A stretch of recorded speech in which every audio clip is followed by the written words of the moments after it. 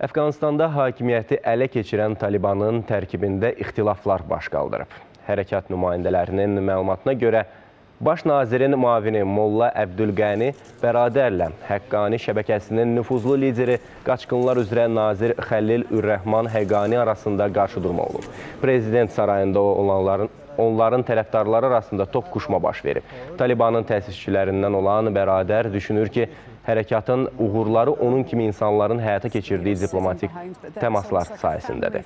Talibanın döyüş əməliyyatlarını icra edən Həqqani qruplaşması isə bu zəfərə vuruşaraq nail olduqlarını deyir. Bir müddət əvvəl Prezident sarayında baş verən atışmada Molla Əbdülqəni Bəradərin öldüyü ilə bağlı şayələr yayılsa da sonradan təkzib edilmişdi.